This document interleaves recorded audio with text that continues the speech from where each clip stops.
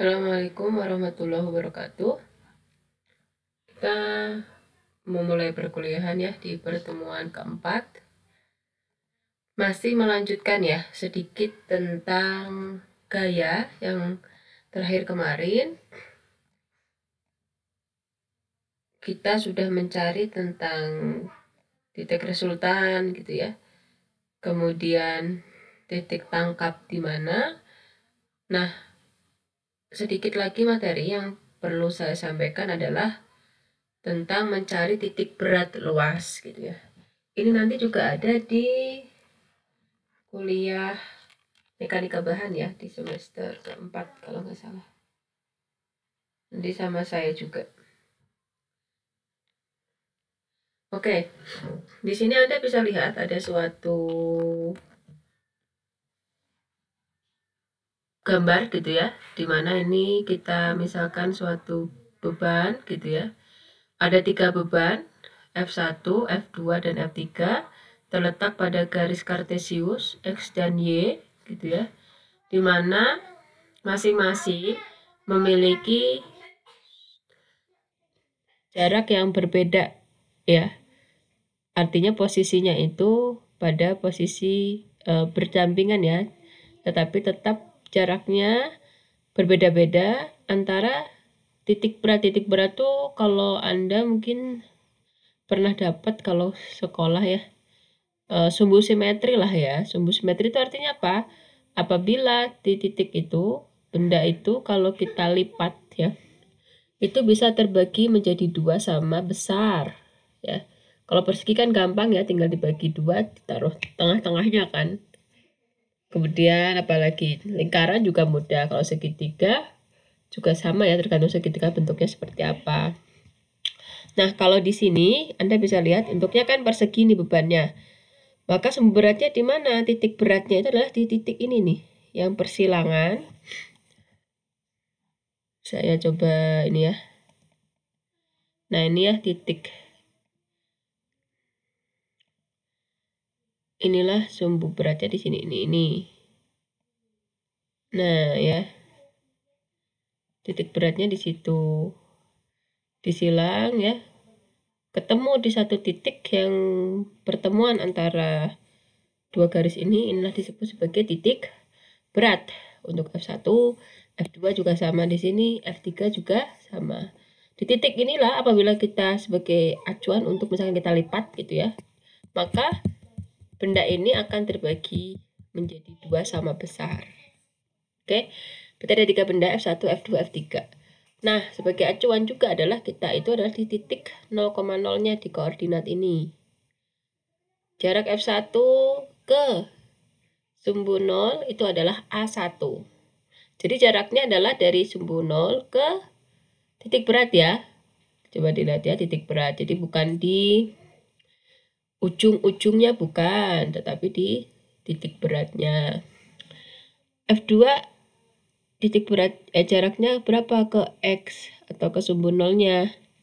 Maka A2 ke titik berat F2. Ini A3. Arah bebannya sama semua ke bawah ya. Maka apabila kita resultankan, maka tinggal dijumlahkan semua ya karena arahnya sama ke bawah. Sehingga R resultan pengganti dari tiga gaya ini adalah kita sebut F total ya. Total F-nya sama dengan F1 ditambah F2 ditambah F3. Jadi berapa? Ya masih dalam bentuk ini ya karena ini kan rumus dulu. Nanti kalau ada soal baru kita aplikasikan menggunakan e, kasusnya angka ya ya. Terus bagaimana cara mencari titik tangkap? Jadi kan uh, ketika F ini setelah digabung menjadi R. R itu digambarkan dengan garis warna merah ini, gaya warna merah ini. Mewakili tiga gaya ini. Cuma kita ingin tahu letak titik tangkapnya di mana. Sekarang posisi R ini di mana? Dari yang tiga F ini diubah jadi cuma satu gaya. Terus kita harus tahu ya. Sekarang posisinya di mana dong R ini gitu ya. Maka rumusnya adalah ini letak titik tangkap gaya resultan maka rumusnya adalah X. X itu letak titik tangkap yang akan kita cari. Bisa tidak di sini gambarnya ya. X itu adalah yang kita cari letak titik tangkap dikalikan dengan R itu harus sama dengan F1 kali A1 ditambah F2 kali A2 ditambah F3 kali A3.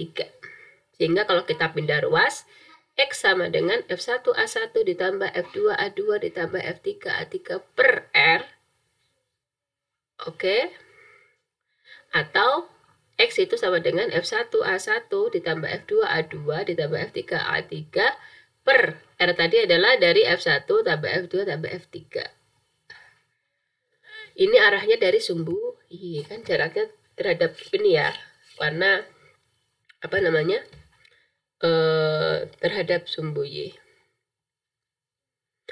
Kita masuk ke contoh soal ya. Ini ada tiga beban P1, P2, P3. Kebetulan sudah diletak, uh, sudah diketahui ya letaknya di mana. Sebentar.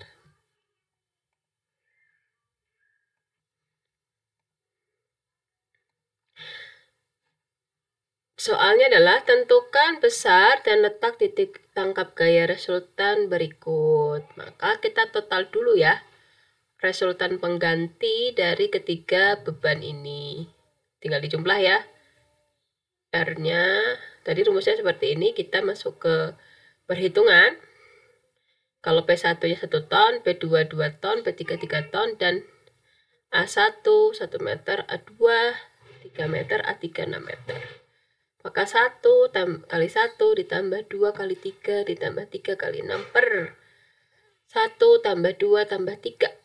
Berarti kalau kayak gini dihitung dulu perkalian ya.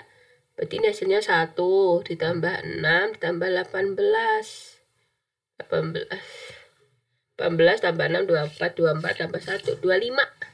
25 dibagi total ini dibagi 6 ketemu 4,167 meter. Ketemu inilah titik tangkap gaya resultan tersebut. Bisa dipahami ya? Ya, itu aja untuk materi tentang gaya. Masih tentang gaya sebenarnya ya, cuma ini adalah eh, apa namanya? komponen-komponen yang akan kita temui di di materi-materi selanjutnya gitu ya. Oke. Sekarang kalau tadi kemarin tentang gaya pada umumnya, sekarang kita masuk ke gaya-gaya dalam dan reaksi perletakan. Oke, apa itu gaya dalam? Kan kemarin ada namanya gaya, gaya aja ya, nggak ada dalamnya. Kalau sekarang ada namanya gaya dalam. Gaya dalam adalah gaya yang dipikul suatu konstruksi itu ya Berarti kalau misalkan suatu konstruksi memikul gaya atau beban, pasti nantinya itu akan disalurkan ke setiap bagian dari konstruksi. Jadi misalkan atap dapat beban angin, ya dia bebannya nggak cuma berhenti di atap aja, tapi akan disalurkan misalkan ke ini dulu ya, ke balok gitu ya dari balok kemudian ke cording dulu ya kalau pakai cording kemudian ke balok kemudian ke kolomnya ke sluh baru ke pondasi barulah ke tanah. Jadi nggak cuma berhenti di situ aja tapi pasti akan disalurkan sampai ke paling bawah ya. Nah gaya-gaya yang disalurkan inilah disebut sebagai gaya dalam. Kalau beban luar kita sebut sebagai gaya aja ya tapi gaya yang telah disalurkan tadi, itulah yang disebut sebagai gaya dalam. Nah, dengan adanya gaya dalam inilah yang menimbulkan kenapa suatu, konstruksi itu ada yang namanya perubahan bentuk atau deformasi. Kita sebutnya sebagai deformasi ya.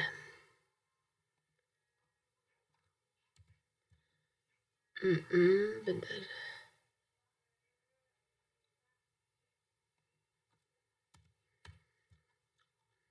Pada bagian konstruksi ada deformasi, di mana gaya dalam ini nanti akan dilawan oleh tegangan di dalamnya. Karena kan setiap konstruksi material itu pasti punya namanya tegangan, artinya ada perlawanan. Ya kan? Ada gaya dalam yang bekerja, konstruksi itu sendiri punya perlawanan sehingga muncullah keseimbangan.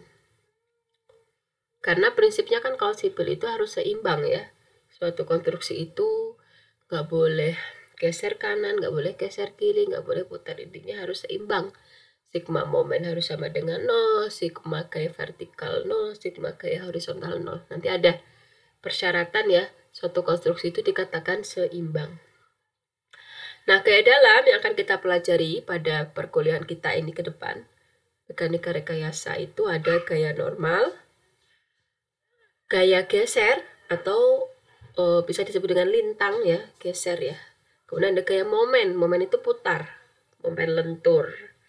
Semuanya ada kata-kata gaya di depannya ya, meskipun apa namanya beda-beda ada gaya dalam, gaya lintang atau apa pun. Prinsipnya kalau ada kata gaya maka satuannya adalah Newton. Itu kalau satuan internasional ya.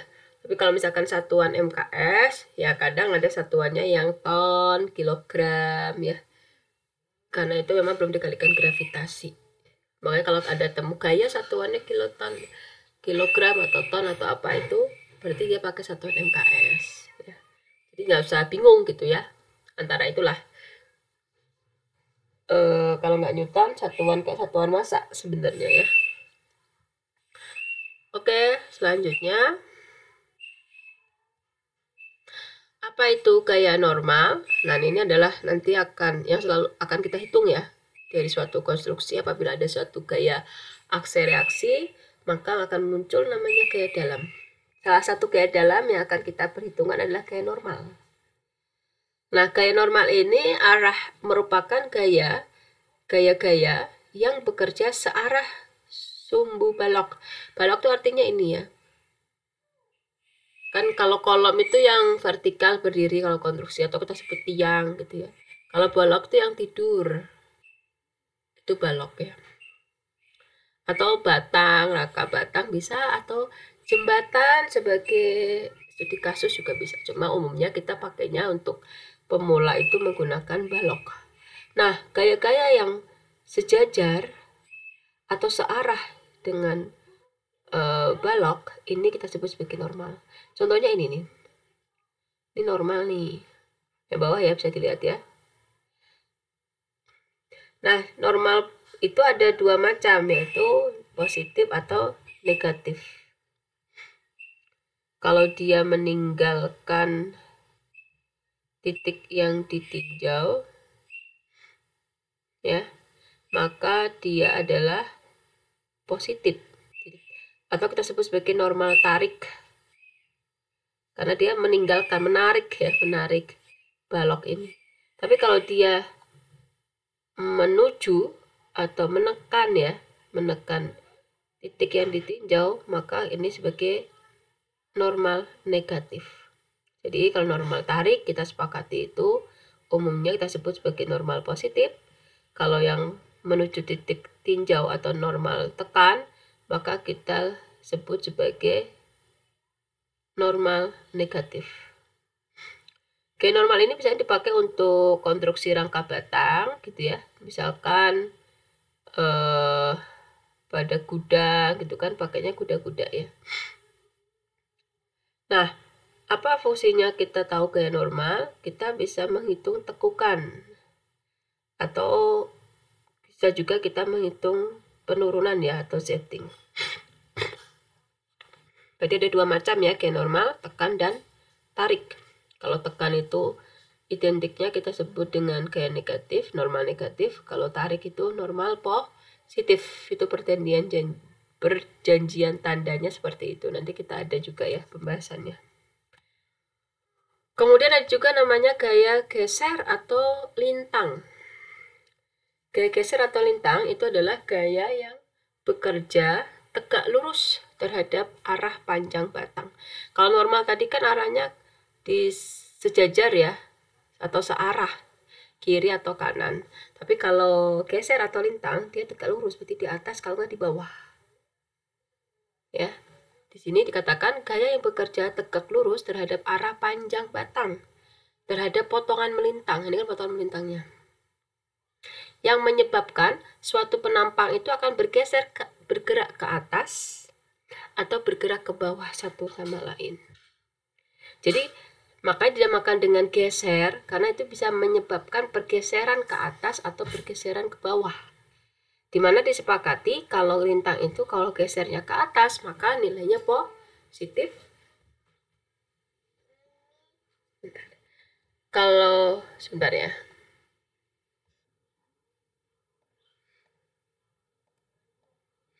Oke, itu dia. Kalau lintang ini, akibat lintang ini menyebabkan gaya itu atau penampang ya bergeser ke atas, maka dia disebut sebagai lintang positif. Kalau ke bawah, maka dia lintang negatif. Contoh lintang. Ini dapat dari mana? Nanti kita ada ya perhitungannya ya. Ini ada namanya gaya reaksi nanti ya. Ada gaya reaksi ini akan menimbulkan gaya lintang pergeseran. Oke, tadi gaya lintang, kemudian ada momen. Momen itu juga sebagai putar ya. Di mana satuannya adalah ton. Ya, bisa ton, bisa newton gitu ya. Kalau sini kita buat ton dengan jarak L, satuan meter. Dan momen itu adalah berarti apa? Hasil perkalian antara gaya dikalikan dengan jarak. Ya. Gaya kali jarak. Nah, akibat momen ini ini contohnya nanti ada namanya serat tertekan ke atas, kemudian serat serat tekan, serat tarik ya, karena ada perputaran. Akibat momen itu muter. Kalau tadi kan pergeseran, kalau normal itu tekukan normal itu menyebabkan suatu balok ya kita anggap di balok misalkan mengalami tekukan. Kalau akibat lintang itu adalah pergeseran. Kalau akibat momen itu menyebabkan suatu konstruksi itu bisa mengalami namanya perputaran. Rotasi gitulah ya. Nah kalau tadi kan lintang itu kalau di atas positif kalau di bawah negatif Nah, kalau momen, momen ini kan seperti ini. Kalau digambarkan, misalkan ini ada suatu batang atau balok, ada beban P di tengah-tengah, beban terpusat, maka dia akan mengalami lentur perputaran, di mana digambarkan ilustrasinya seperti ini. Garis lenturnya. Nah, ada dua macam di momen juga. Nanti ada momen lenturnya arahnya ke bawah, ada juga yang ke atas. Nah, di mana kalau momen itu kebalikan dari lintang. Kalau ke bawah lenturnya, maka dia disebut sebagai momen positif. Ya. Kalau momennya lenturnya arahnya ke atas, maka dia sebagai momen negatif. Sistem kerjanya seperti apa? Ini ada gaya P. Akibat ada P, balok ini kan akan mengalami lentur. Lentur tuh kayak lendut gitu ya. Kayak bengkok ke bawah gitu ya Kemudian kondisi ini maka akan dilawan oleh gaya dalam memon ini. Nah, inilah disebut sebagai keseimbangan. Ya, jadi kan memang satu konstruksi itu ada yang namanya gaya itu menyebabkan lentur tadi macam-macam. Cuma kan material itu atau konstruksi itu juga punya kemampuan untuk melawan. Ya kan? Kemampuan untuk melawan itulah yang akhirnya menyebabkan keseimbangan. Jadi konstruksi itu dikatakan aman. Seperti itu ya. Nah, sekarang kita masuk ke perletakan tumpuan. Semua bangunan konstruksi itu intinya terletak di atas tumpuan atau perletakan. Jadi satu konstruksi itu uh, atau bisa disebut lah umumnya itu kita sebutnya sebagai pondasi ya. Meskipun kalau pondasi selama ini kan kita lihatnya ya pondasi itu untuk rumah aja gitu ya. Sisi lain atau nama lain dari pondasi itu adalah kalau di bidang civil engineering ya tumbuhannya atau perletakan gitu ya. Dan itu dia cuma hanya di rumah ya semua konstruksi. Baik itu jembatan gitu ya atau bendung, jalan dan sebagainya semua itu punya namanya tumbuhan atau perletakan. Oke. Nah, macam-macamnya di materi ini kita akan membahas ya tentang macam-macam tumbuhan ini. Terus apa sih fungsi tumbuhan itu? Tumbuhan ini fungsinya adalah tadi menyalurkan gaya-gaya luar yang bekerja pada konstruksi dan menyalurkan pada konstruksi itu ke bawah, ke bagian bawahnya. Kan?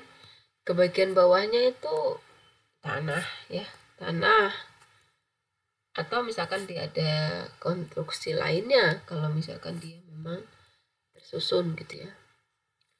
Karena dengan adanya perletakan atau tumpuan ini, kan dia tadi menyalurkan fungsinya sebagai penyalur gitulah ya sehingga dengan penyaluran inilah muncul yang namanya reaksi-reaksi tadi.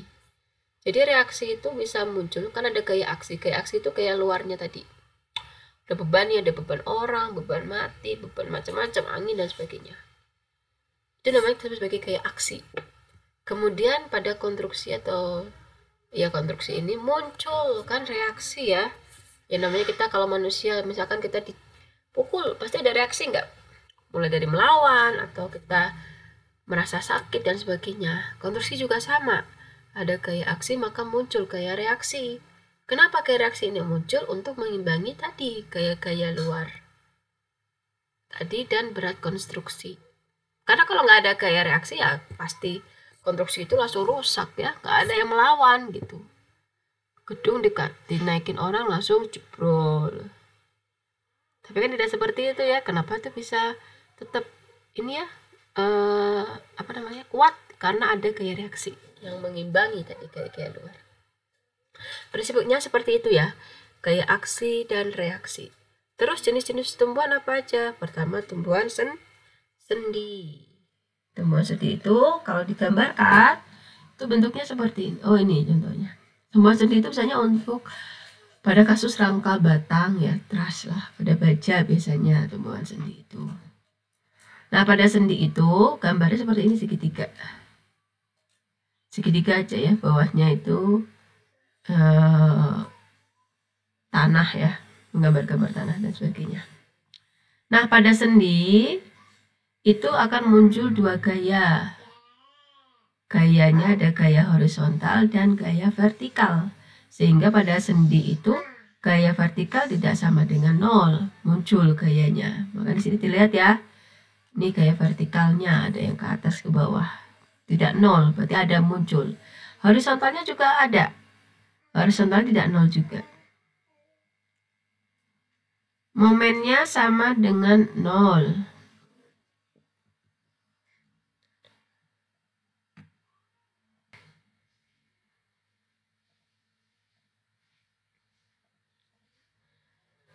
momen sama dengan nol. Ya momen mau wajib harus sama dengan nol ya.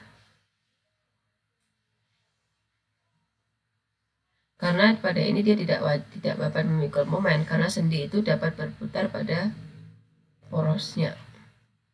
Jadi dia tidak sama de eh, sama dengan nol momennya tapi untuk gaya vertikal dan horizontal dia ada.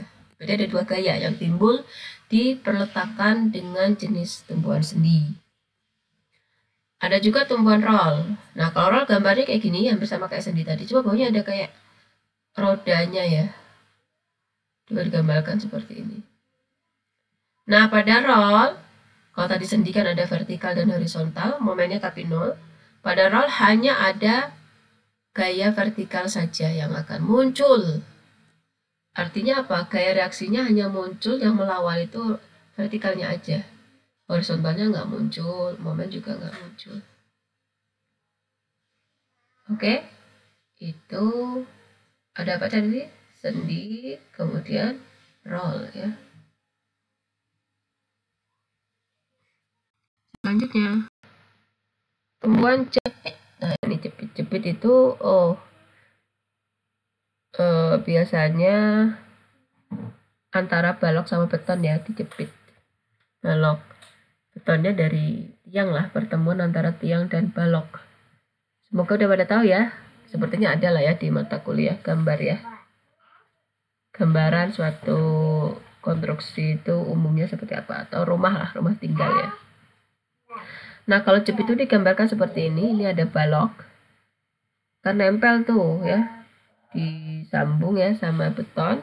Kalau kita modelkan bentuknya seperti ini. Nah, pada konstruksi jepit, apa aja yang muncul gayanya? Nah, pada tumpuan jepit, apa aja yang muncul? Yang pertama adalah vertikalnya muncul. Tiga-tiganya muncul ya kalau pada jepit. Reaksi vertikal muncul. Reaksi horizontal muncul. Momen juga muncul. Kalau jepit digambarkan seperti ini. Oke. Aplikasinya seperti apa? Jadi gini, ini contohnya ada suatu balok. Di mana di sini ada bentar ya.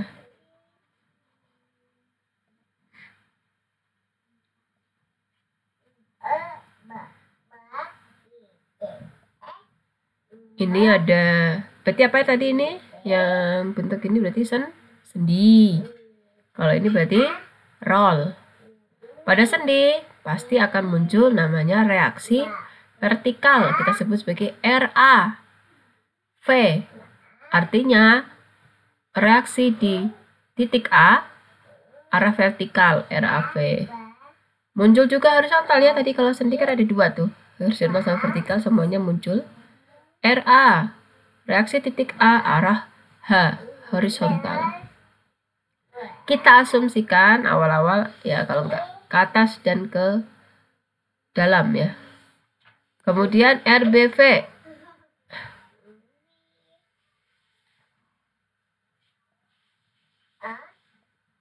RBV nah untuk roll cuma satu yaitu vertikal.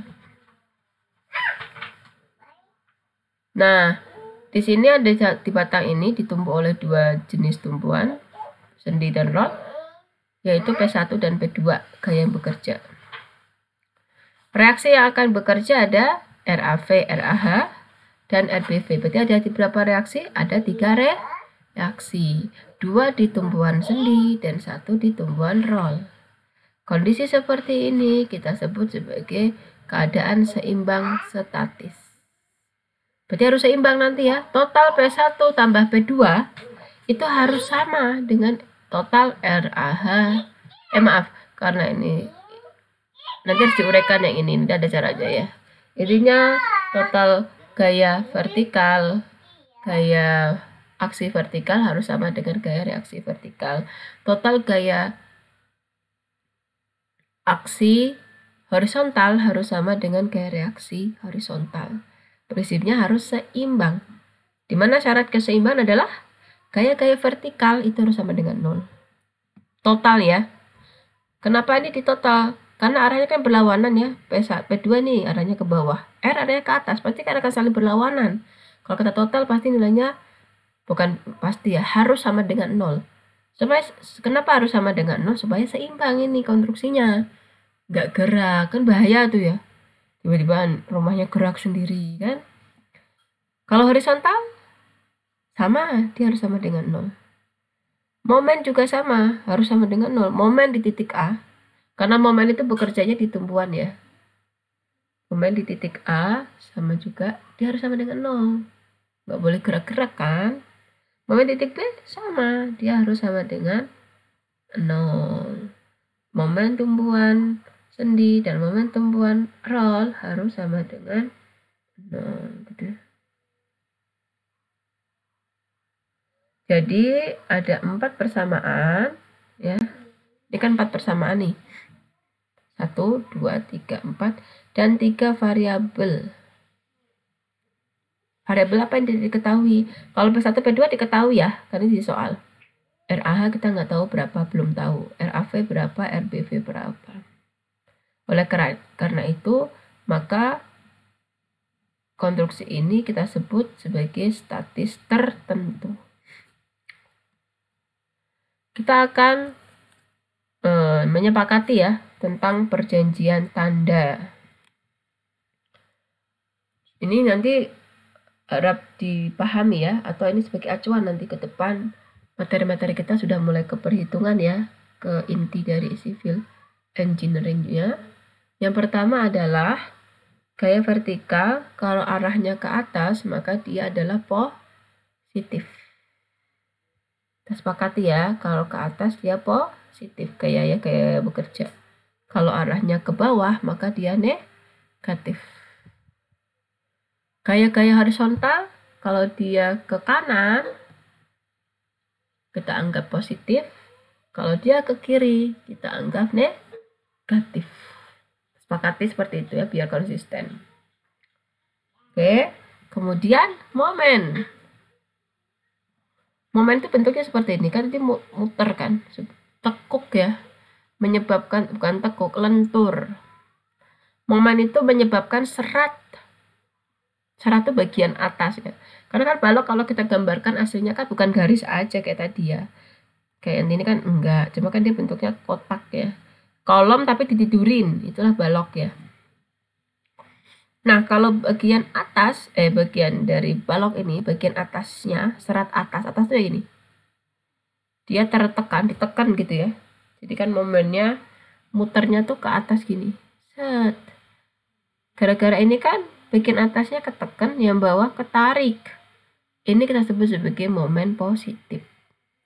Nah untuk diketahui juga pada uh, statika mekanika rekayasa itu kita boleh loh menghitung reaksi, menghitung momen itu boleh dari mulai dari kiri, maka kita sebut sebagai pandang kiri.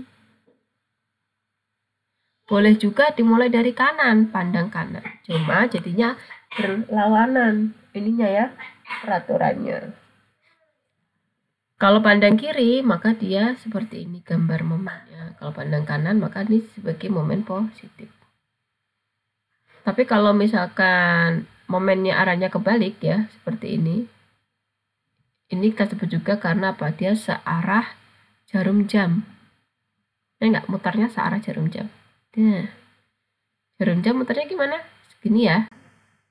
Kalau yang ini pandang kanan mutarnya gimana? berbalikan dengan arah jarum jam tapi dia positif karena kita lihat dari kanan kebalikan kalau pandang kiri menyebabkan dia searah jarum jam pandang kanan berlawanan itu momen positif.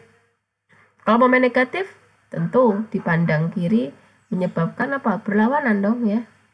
Tuh berlawanan. Pandang kanan searah. Tapi dua-duanya sama nilainya negatif. Ya nanti masih bingung ya. Nanti lihat aja ya di soal apa? Di praktek pekan depan lah insya Allah mungkin nah kayak normal. Kalau kayak normal tekan itu berarti bertanda negatif nah ini kalau tarik tadi ada ya depan juga maka dia positif kita sepakati seperti itu ya kalau nemu normal nilainya eh, tandanya tarik maka dia positif kalau tekan maka dia negatif. Oke? Selanjutnya, gaya lintang atau geser. Ini perjanjian tanda aja ya, kita sepakati nanti. Kalau apa namanya lintang atau geser kan menyebabkan ke atas dan ke bawah. Tadi kita sepakati ya, kalau ke atas maka dia positif. Kalau ke bawah dia negatif. Cuma lagi-lagi kita lihat pandang kiri pandang kanan ya. Kalau lihat dari kiri ke atas positif, lihat pandang kanan ke bawah positif. Dan seterusnya. Seperti itu ya. Sekarang ke arah putaran momen. Gaya-gaya tadi kan bekerja ya. Bekerja itu menyebabkan adanya perputaran. Nah, jumlah aljabar momen pada tumbuhan atau penetakan bertanda positif. Jadi kalau misalkan misalkan ini F1 F1 ini, coba dilihat ya, mau ke titik warna merah ini. Kalau dia di situ bekerja momen, berarti gaya ini akan muter ya, menuju, ini kan muter, gini kan. Dia akan muter, ada tanda panah ini, menuju ke titik warna merah. Maka dia akan muter, ini arahnya searah jarum jam atau berlawanan? Searah. Maka dia bernilai positif atau F2 F2 mau ke warna merah ini maka dia harus muter juga ya muter berlawanan atau searah berlawanan maka dia negatif Jadi kalau searah jarum jam nilainya positif, berlawanan jarum jam maka dia negatif. Ini juga sama F3, F3 mau ke warna merah dia muter. Searah atau berlawanan? Searah jarum jam maka nilainya positif. Ini bukan berdasarkan nilai besarnya ya, tapi lebih ke putaran momennya. Nanti ini dipakai untuk kalau kita ngitung momen. Ya, meskipun di bawah arahnya ke bawah tapi nilainya positif.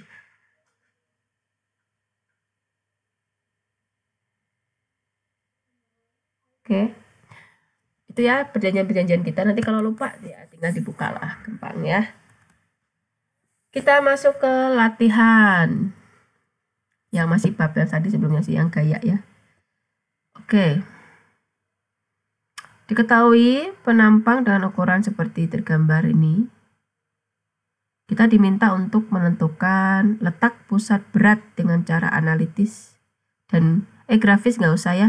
Sebenarnya ada grafis ya di materi awalnya cuma saya rasa bukan zamannya lah ya sekarang. Ya penting tapi itu lama banget ya habis nanti waktu kita. Saya mau ke inti aja ya civil engineeringnya berarti kita analitis aja ya grafis sepertinya tidak lah ya udah jarang dipakai ya apalagi sekarang udah pakai software langsung aja hitungan gitu ya seperti itu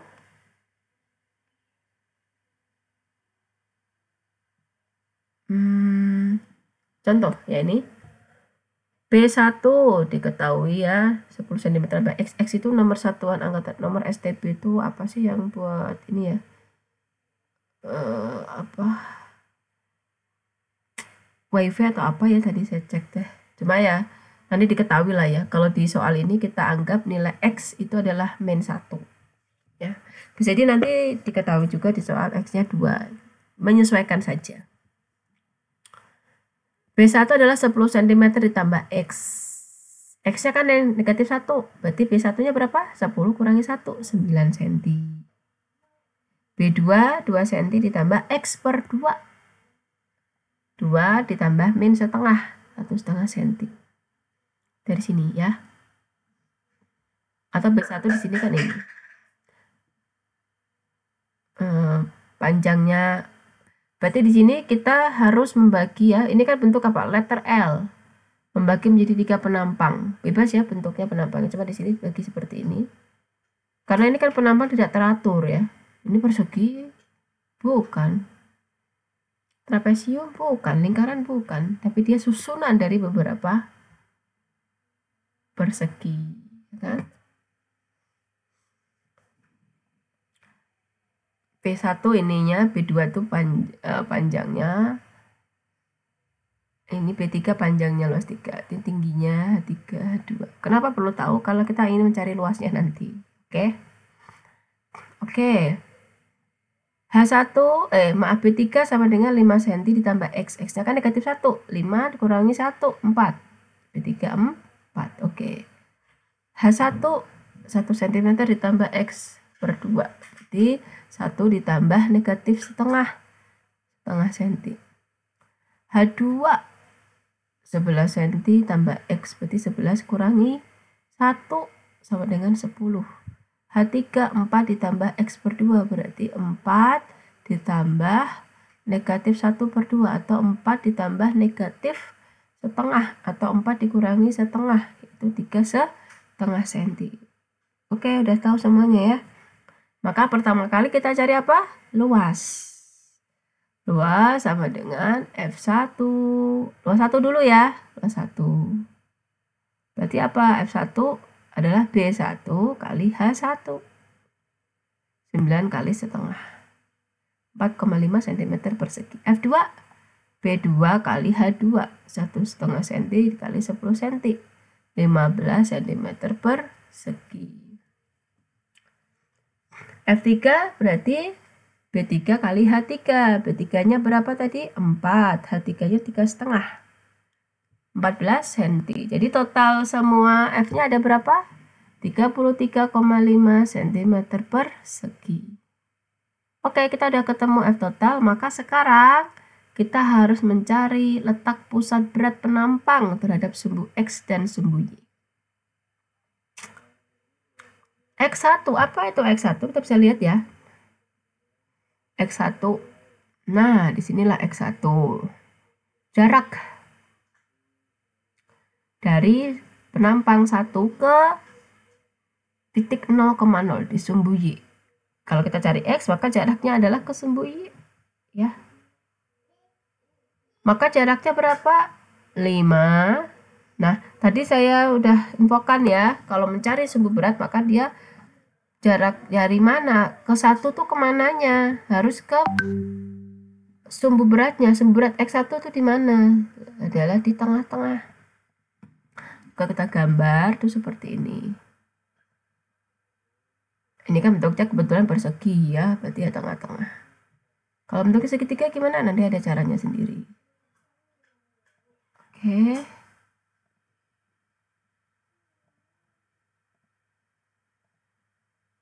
Ini matematika fisika ya matematika. Nah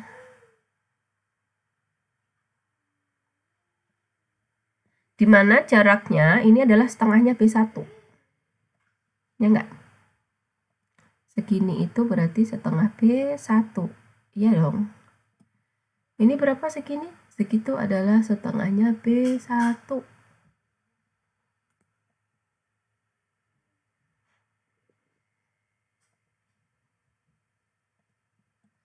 setengah B1 ya kan di tengah-tengah ya letaknya.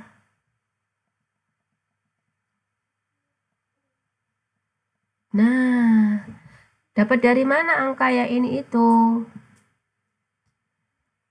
5 cm tambah setengah B1 dari situ ya 5 itu karena kan tadi ada startnya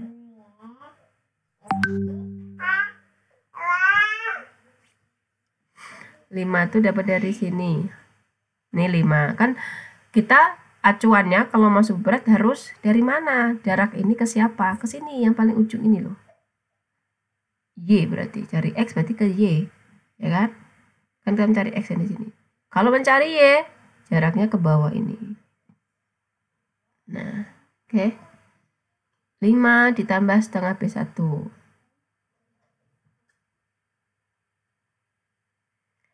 Atau setelah B1 tambah 5 sama aja ya kalau penjumlahan kan komutatif ya. Boleh ditukar. X2 tadi X1 bangunan 1 X2 berarti setengahnya lagi ya. Sama seperti ini tadi.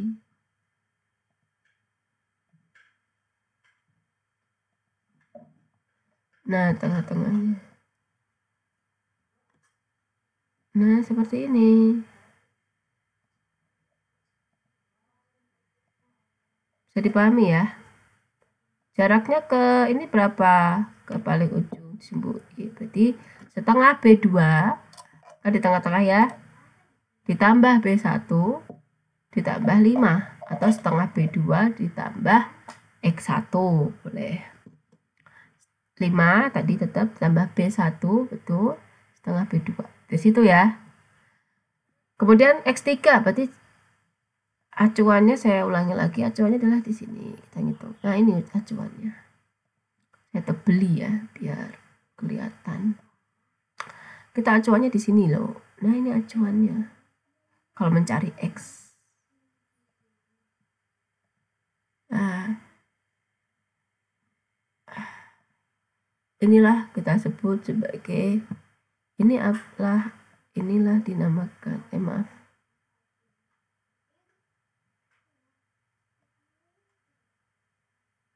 Nah, inilah disebut sebagai X1 ya. Ini X1.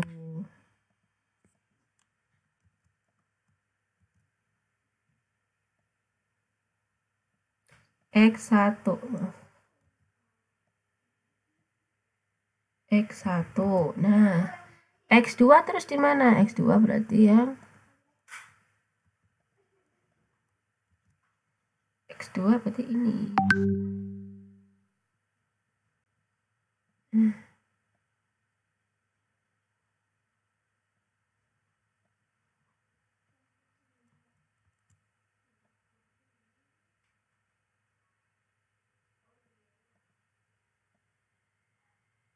X1 X2 berarti di sini ya. Sama aja. Nah ini X2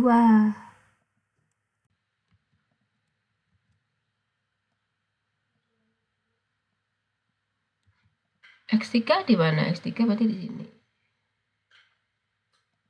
Kurang ke tengah ya. X3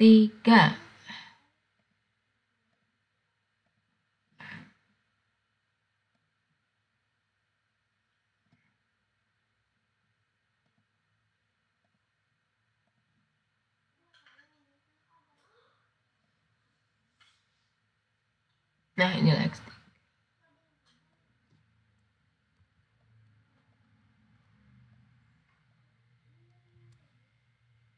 X3 di mana deh? Sini ya.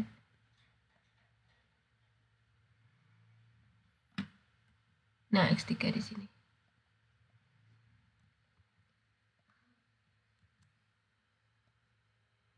Inilah X3. ya dari situ ya jadi dari sini berarti anda bisa ngitung kalau y y itu berarti arahnya ke sumbu x gitu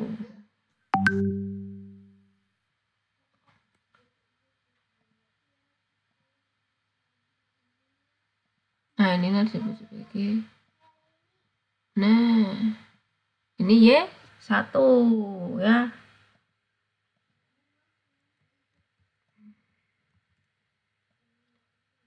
ini kita sebut sebagai Y1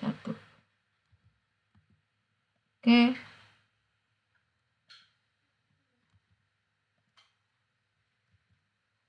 ini Y2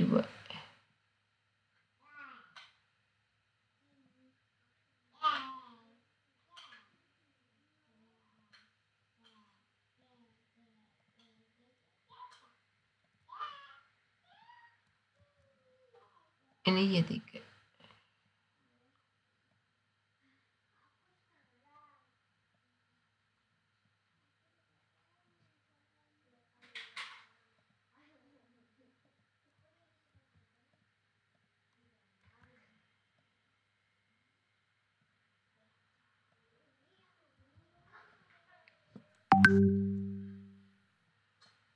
Nih tiga.